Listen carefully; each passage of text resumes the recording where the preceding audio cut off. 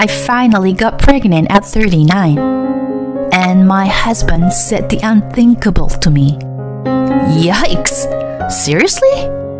You're knocked up? That's insane. Let's get a divorce. What the? I don't want to deal with a troublesome child, born at an older age. So long. I was in despair. We had been together for 10 years, there was no marital bond between us. My only hope was the life in my belly.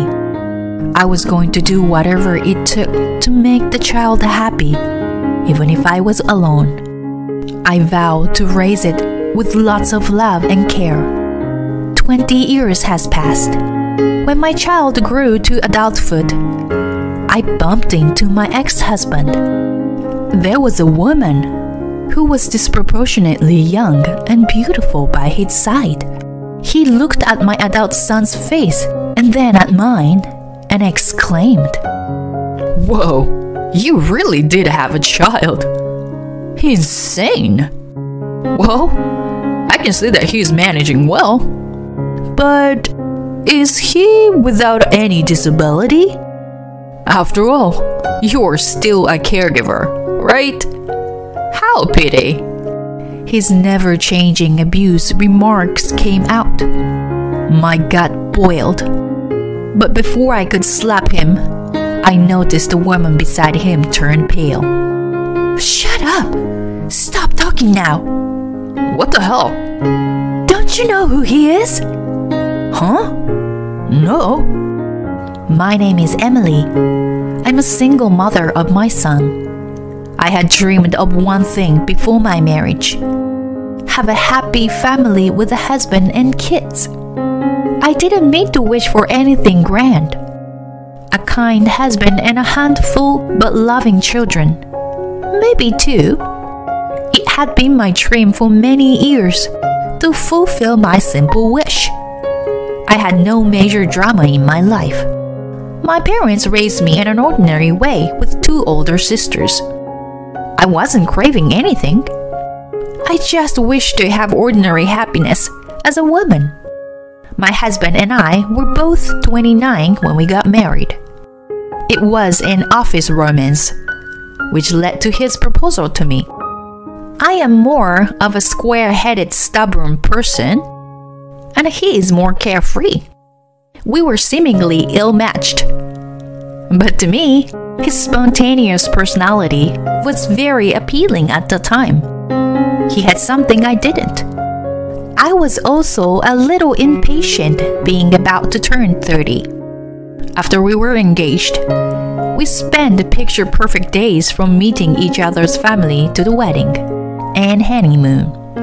I had no doubt that my wish would come true. But reality didn't work out that way. Are you pregnant yet? Andy asked me in our bedroom a year into our marriage. I felt a sting in my heart. We were open to having children from the beginning of our marriage. Not only was it my dream, but his intention was to have them as soon as possible. The fact that he once mentioned it would influence his career bothered me a bit. But he was positive about it, at least.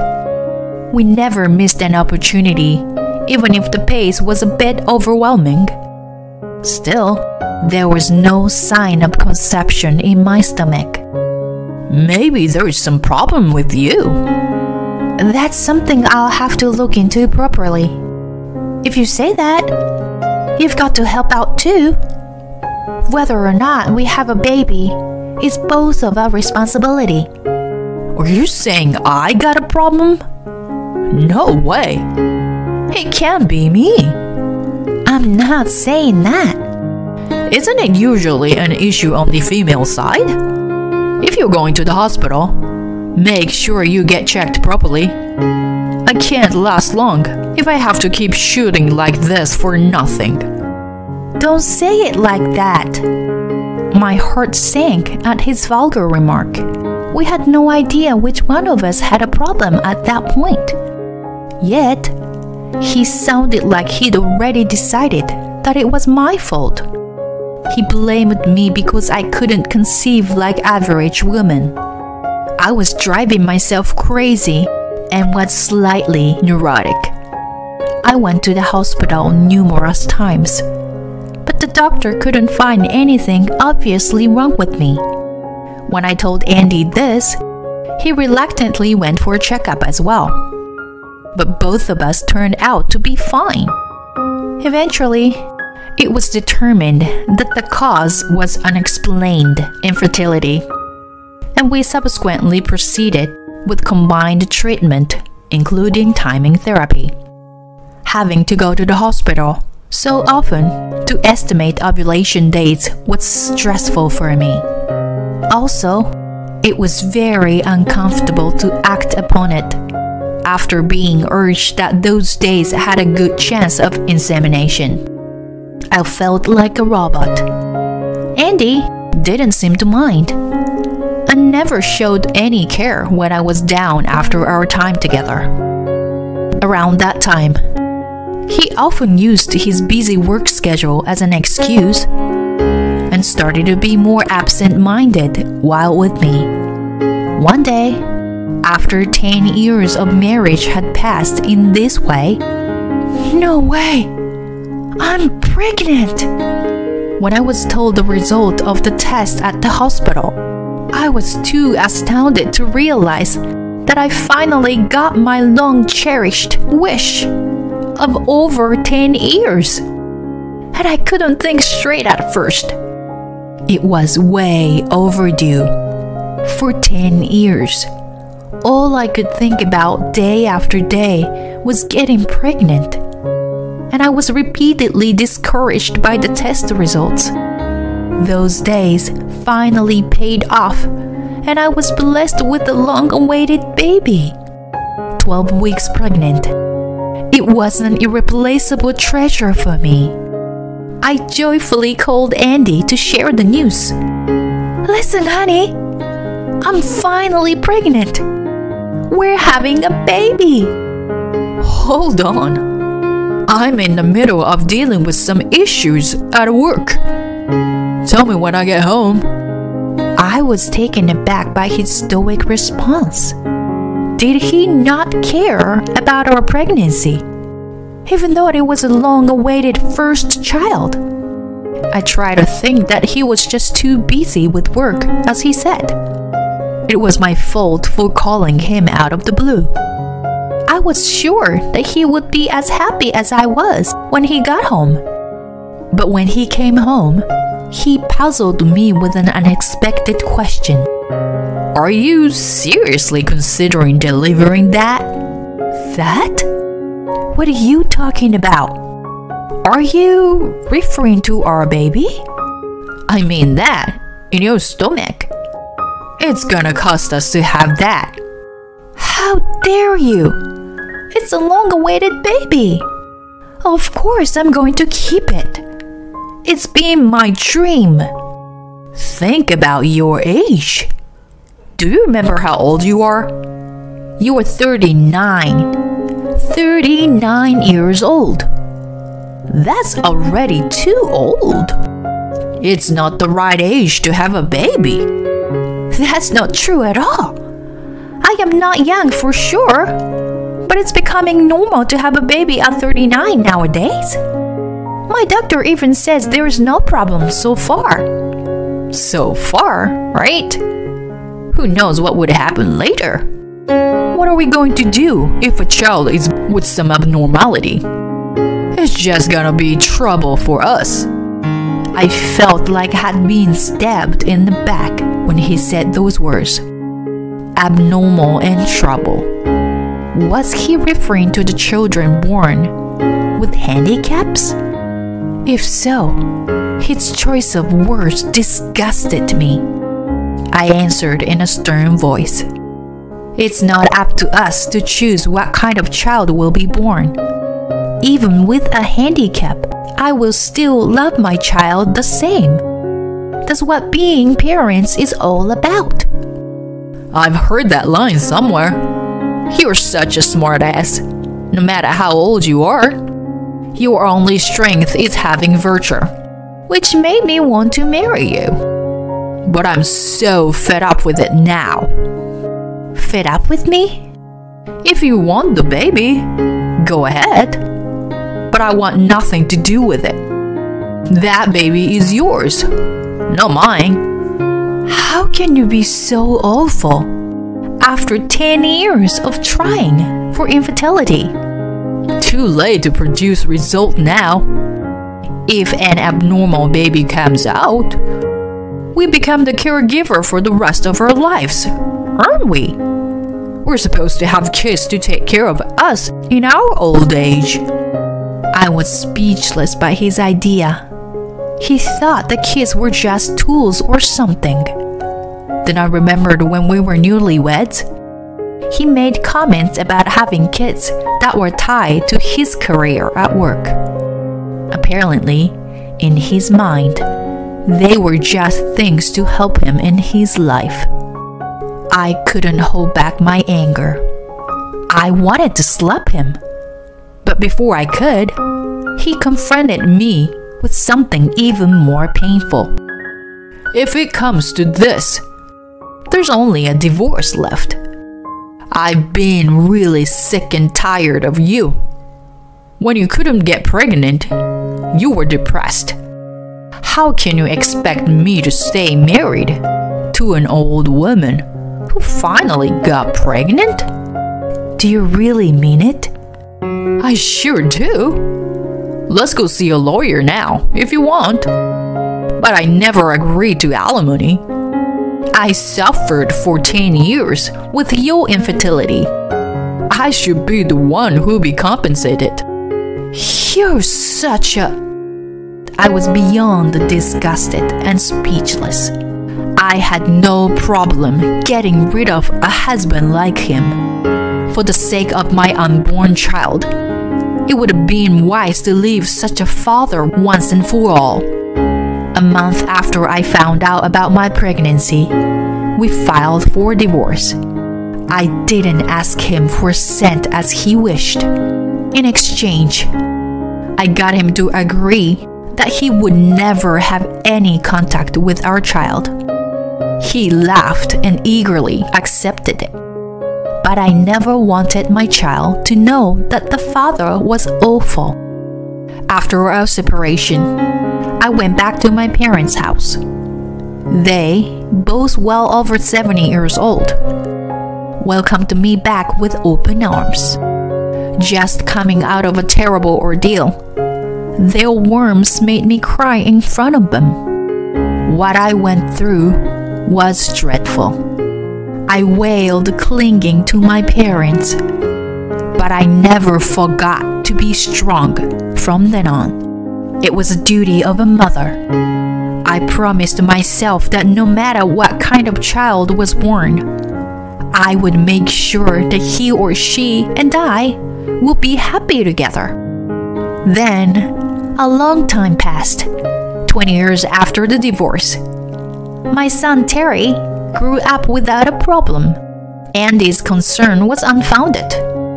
Terry was born in perfect health Rather, he was too good to be my son. He had done well academically since he was little. And when it came to athletics, he was as good as anyone in his grade.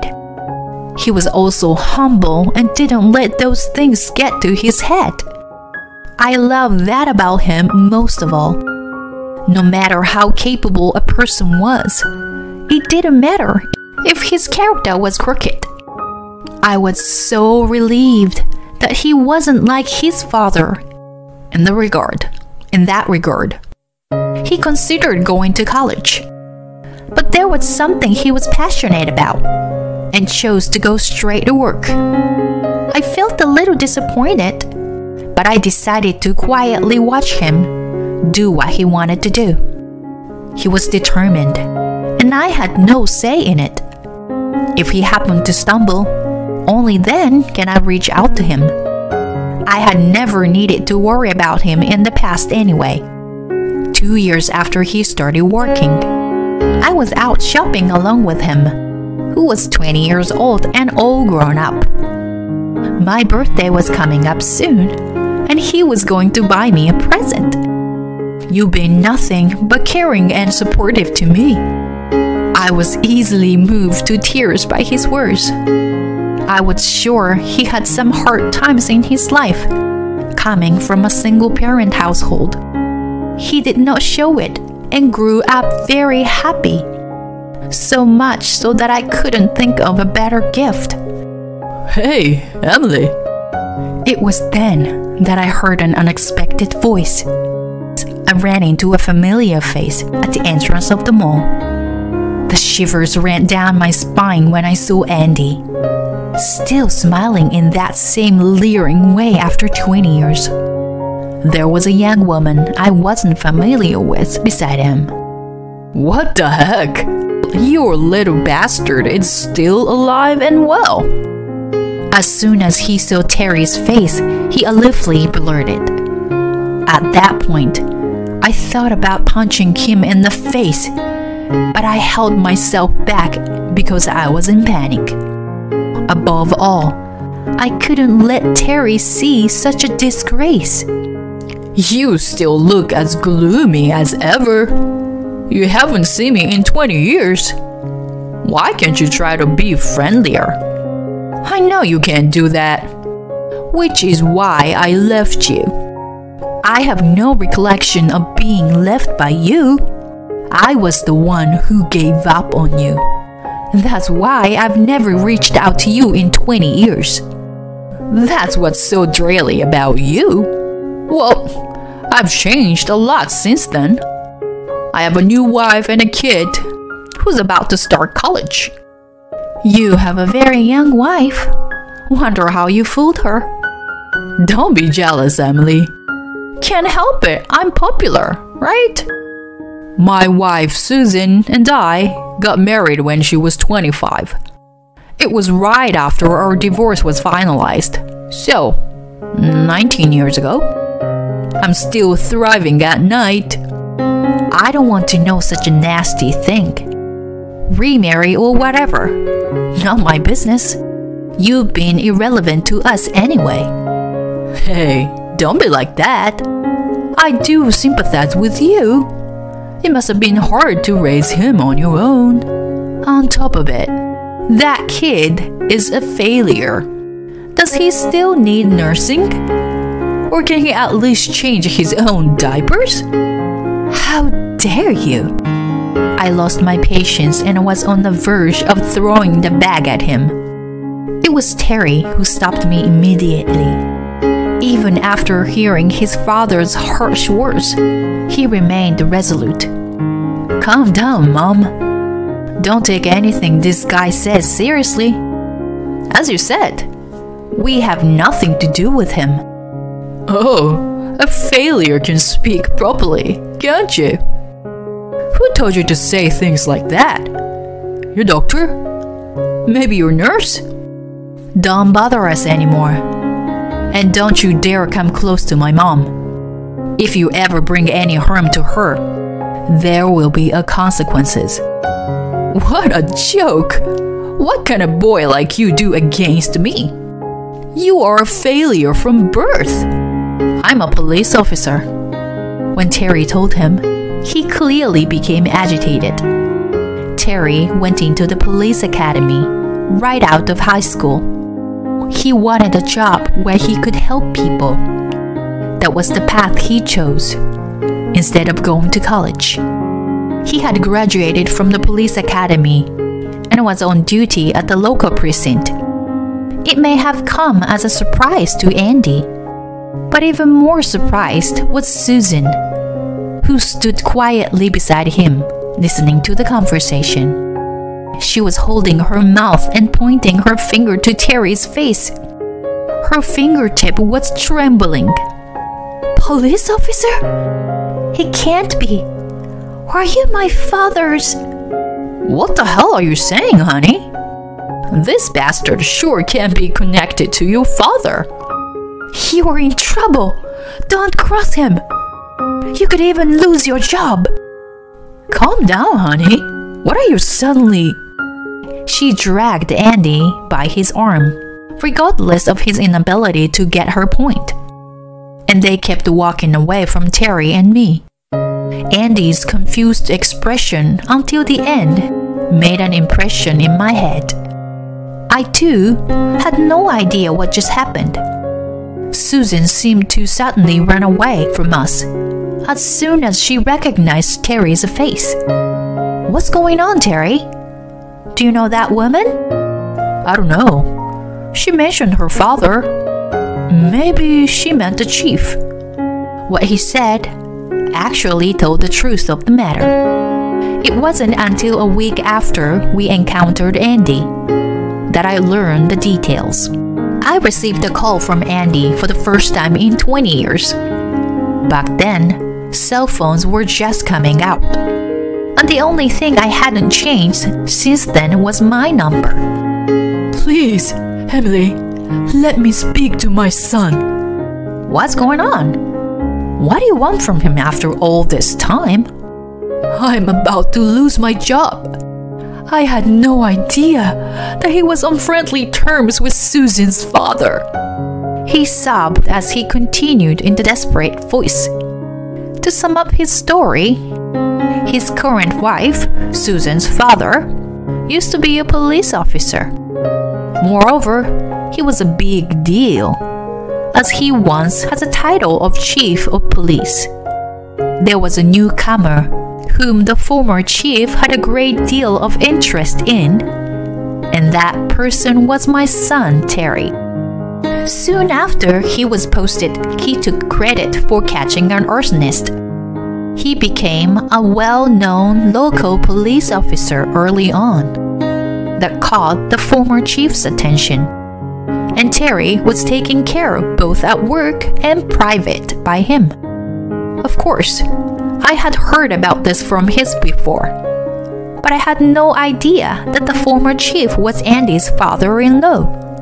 Furthermore, according to Andy's story, the former chief was even planning to set up a marriage for Terry and make him a son in law out of love for him.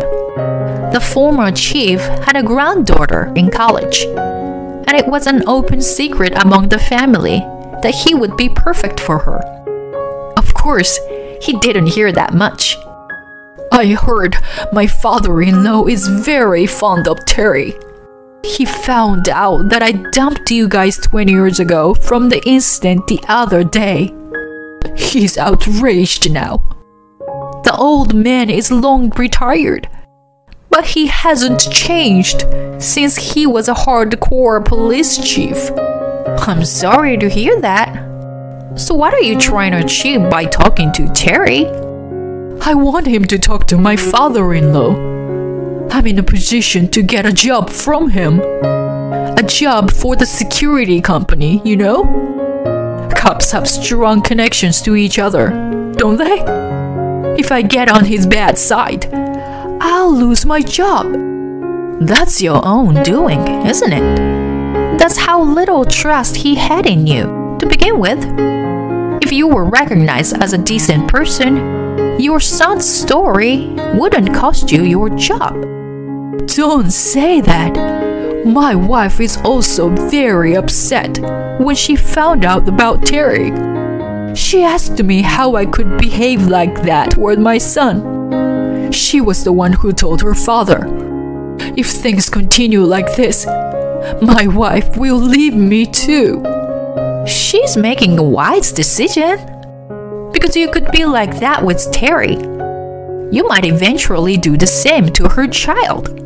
What goes around comes around. Why don't you just gracefully remove yourself from the equation? Hey, if that happens, would you mind if I live with you at your place? I can't live alone. It's too lonely to be alone in my old age. I'll take good care of Terry too. Too bad. He will be fine without you. Having said that, I tapped on the end button. Andy was ranting to no end. I turned off my phone as well and decided to ignore his calls. To be honest, he deserved to be in the situation he was in. He had caused Terry and me so much pain in the past.